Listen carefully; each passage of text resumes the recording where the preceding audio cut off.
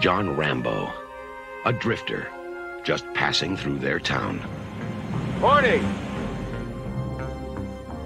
Headed north or south? North.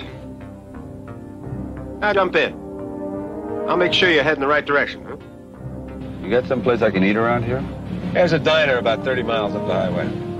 Is there any law against me getting something here? Yeah, me.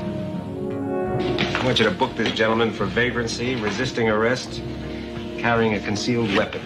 They knew he was innocent. Starting to dislike you. A lot. And they didn't give a damn. That's okay, Warren. Don't worry about the soap. He's tough.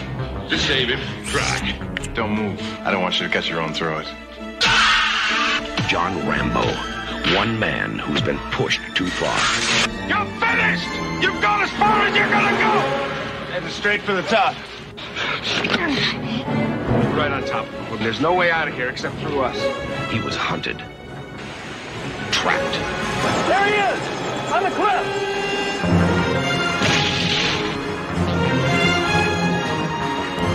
and forced to fight back.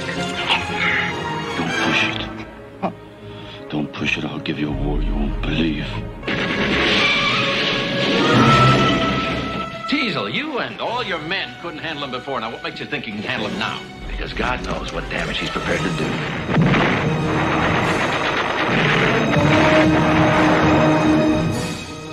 You don't seem to want to accept the fact that you're dealing with an expert in guerrilla warfare. Are you telling me that 200 men against your boy is a no-win situation for us? You send that many, don't forget one thing. A good supply of body bags. Sylvester Stallone. This time he's fighting for his life. First blood.